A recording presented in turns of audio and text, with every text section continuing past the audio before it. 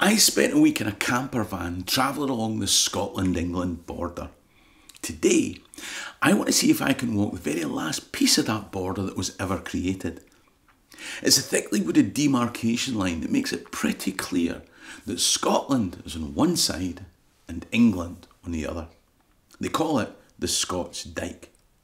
Now, this is a bit different from my normal videos because you're going to have to bear with me as I show you the footage of me clambering my way along the last piece of the Scotland England border. But if you're interested in the people, places, and events in Scottish history, then click the subscribe button at the bottom right of the screen. In the meantime, let me tell you a story. There's a strip of land approximately 12 miles by 4 along the River Esk that was famed for lawlessness, reaving, and independence. The Grahams on one side of the river and the Armstrongs in their Gilnockie Tower to the north. Add to them the Nixons, the Elliots, and more. Nobody in Edinburgh or London was quite sure who belonged to what and what belonged to whom and what cattle belonged to anyone that could get their hands on them in the dead of night. For the most part, the border between Scotland and England had been agreed in 1237 between Alexander II of Scotland and Henry III. But 300 years later, there remained the debatable lands. So a line was drawn between the River Sark in the west and the house of Fergus Graham in the east. The one straight line across which self respecting haggis would no longer cross. Now, I don't know how big Fergus's house was. I don't know how much land it covered. But when I came down to make a video about Kinmont Willie and his Armstrong Reivers, I stayed in the Marchbank Hotel. It's right slap bang on the border, right next to the Scots Dyke.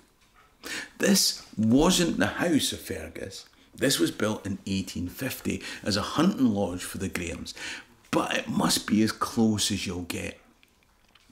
When I came to make the Reivers video, I treated Mrs. Colombo to a couple of nights here as a reward for holding the camera, and it immediately became our favourite of all the hotels we've stayed in in our trips to tell you the story of Scotland. And it's in England! Just let me know in the comment section if you've got any hotel recommendations that we can use when we're out and about in our travels. Richard who runs this hotel, used to have a bistro in Manchester, and his food is ah, even better than his chat and charm. There's genuinely no other hotel that I'd feel as comfortable recommending as this one. But don't bother trying to book online. There's no internet. These are the debatable lands. I'll leave his details in the description. You can get to the border marker on the Scots Dyke from the main A7 just after you've passed the border crossing sign. That's how we got there on our first ever visit here. It's proper overgrown, and we were stung by nettles, pricked by thistles, and chased by coos to make the short walk up the hill. This time, Richard pointed us to a path through the gardens of this hotel and across the field to reach the Scots Dyke marker that way. But he reckoned that walking the dyke might be tougher than we thought. As an incentive, he promised if we were up to walking the length of the dyke, he'd give us a slap up meal and a bed for the night in our return. Now, there's a motivation to face an overgrown border defences. So, through his secret garden they'll take us up to the field separating the hotel from the Scots Dyke.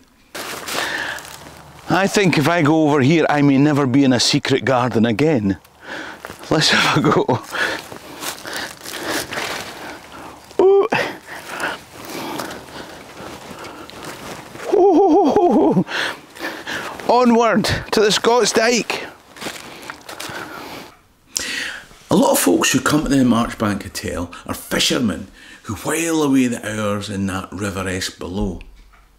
More interesting to me are the fields beyond Longtown and James V's fateful Battle of Solway Moss.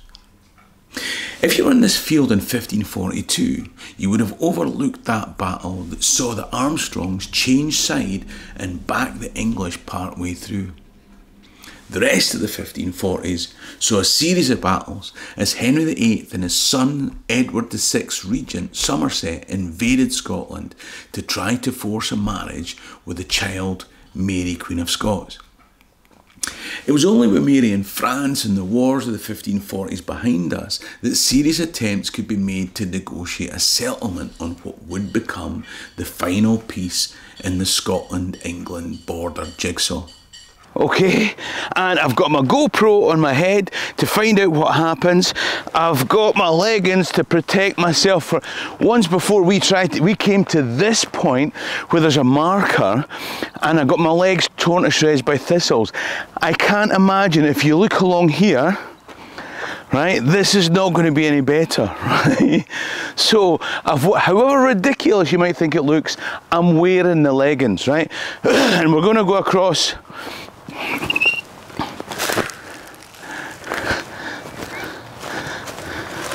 Oh, this, ladies and gentlemen, is the Scots Dyke. Now, you might be asking the reasonable question, why not the English Dyke? And that's a very good point. Actually, at first, it was called the March Dyke along the border marches. But by the time that we get to General Roy's military survey in the 1700s, 200 years later, it's called the Scots Dyke. On that map, it showed parallel lines of ditches running between these two rivers. You see, what they did was to dig two parallel ditches, one on the Scottish side and one on the English side. And they threw the earth dug into the middle, leaving a wide demarcation in between. They tell me that the distance between the two ditches is supposed to be 12 feet, but it feels to me like there's been a lack of consistency. I believe the engineering term is higgledy piggledy. I've read that when they built the Scots Dyke, what happened was a bunch of Scots started digging at one end and a bunch of English started digging at the other end. And at one point, they realised that they weren't going to meet. And I think this is maybe why you can see this ditch comes down here. And I think they've been digging this way, these guys have been digging that way.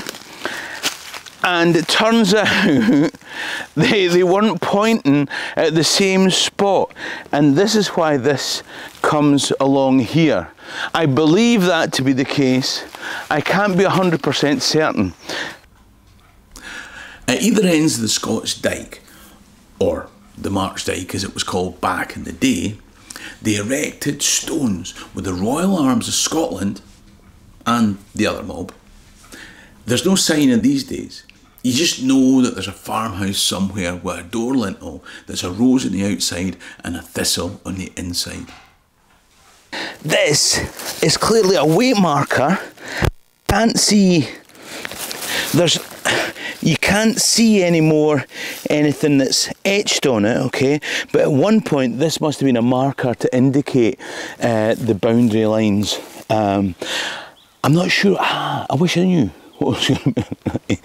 uh, but trust me, that's what this. I've read about these things, okay, and. Um, uh, there should be several of them as we go up and down the the dike here. But this is I'm I'm delighted to have found uh, one of them. Okay, uh, I, I'm not sure when these were put in, but I wonder when this guy put this in, what he thought this would look like in 2021. It's actually 2022, but you know. They tell me it's 2022. If you're wondering why this has been largely me narrating over pictures, it's because, to be honest, sometimes doing pieces to the camera didn't go smoothly. Sometimes just crossing the ditch didn't go smoothly. Personally, I think that negotiating the boundary in the first place would have been much easier than me trying to negotiate that same boundary today. It wasn't entirely smooth, and the Reivers continued their activities. The difference was that Edinburgh and London had finally decided that they were going to attempt to impose law and order.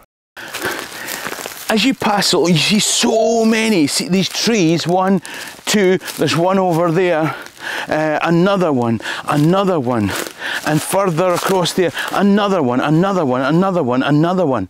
And the Storm Arwen, I believe it was. What a, what a mess it's created. Because obviously before the Storm Arwen, this was pristine uh, garden uh, that, had been created. Although there's the contrast of the pristine garden with the shell case that we found here, clearly from somebody trying to escape to get over the wall from the that's right here's the uh, this is obviously somebody's trying to escape to get from the English side to the freedom in Scotland. And they'll people take all sorts of chances in order to try and survive now I don't know if the man or woman or child that this was fired at managed to survive the journey and live a life of freedom in Scotland. We can only hope that they made it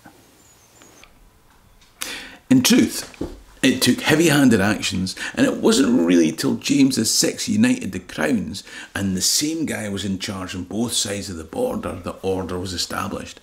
And that took a lot of hangings and a lot of shipping folk across the Irish Sea. The point is that the story of the debatable lands has never been a smooth one. The Union of Crowns saw a decline in some folks' fortunes. On the other hand, it saw others gain in their moves down to London. But it did bring peace to the borders, if under a powerful monarch's hand. But this was still a border between two nation states. Different governance applied either side of it. It was particularly painful on this side of the border when English continental wars imposed navigation acts that blocked Scotland's trade leading to a desperate and disastrous attempt to extricate ourselves with our own colonial trade endeavour. The solution offered was a union.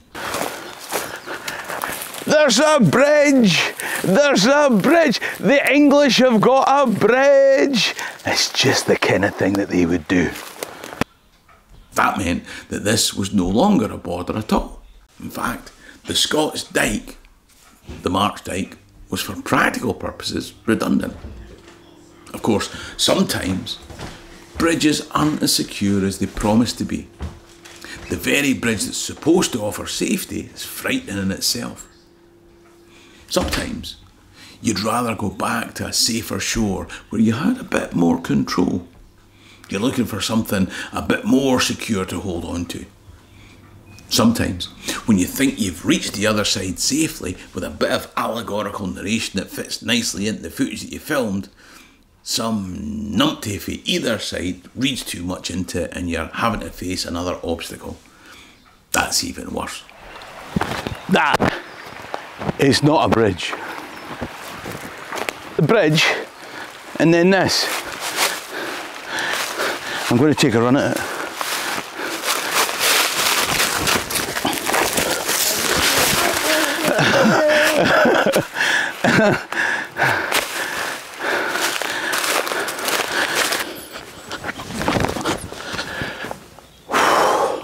so, is it possible for a fat 57 year old Afro Celt to make his way through the debatable lands along the last section of the Scottish border?